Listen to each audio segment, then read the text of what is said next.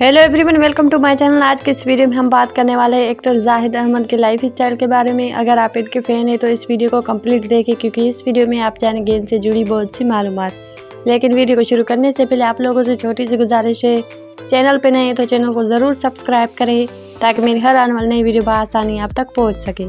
तो चलिए video start करते हैं। इनका जन्म 20 सितंबर 1984 को रावलपिंडी में हुआ। इनका रियल नेम जाहिद इफ्तार अहमद है और निक नेम जाहिद है।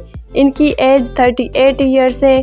Height 6 feet weight 75 KG eyes colour brown and hair colour black nationality से ये पाकिस्तानी है और इनका मतलब इस्लाम है। बात अगर इनकी क्वालिफिकेशन की करें तो इनकी क्वालिफिकेशन है बैचलर एंड मार्केटिंग अब बात करेंगे इनकी फैमिली की तो ये एक एजुकेटेड फैमिली से बिलोंग करते हैं।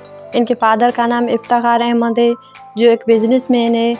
इनकी मदर हाउस वाइफ है, मस्जिद ये अपनी फैमिली को प्राइवेट रखना पसंद करते हैं। कैरियर की बात करें तो इन्होंने अपने कैरियर का आगाज़ साल 2014 में ड्रामा सीरियल मेहरम से किया। तब से लेकर अब तक इन्होंने काफ़ी सारे सीरियल्स में काम किया है और उनमें से जो मशहूर है, उनके नाम है दल दल जुगनू, गुस्ताख इश्क, तुम मेरे पास रहो, मेरी बन जाओ, ज़रा याद कर, इश्क जे नसीब।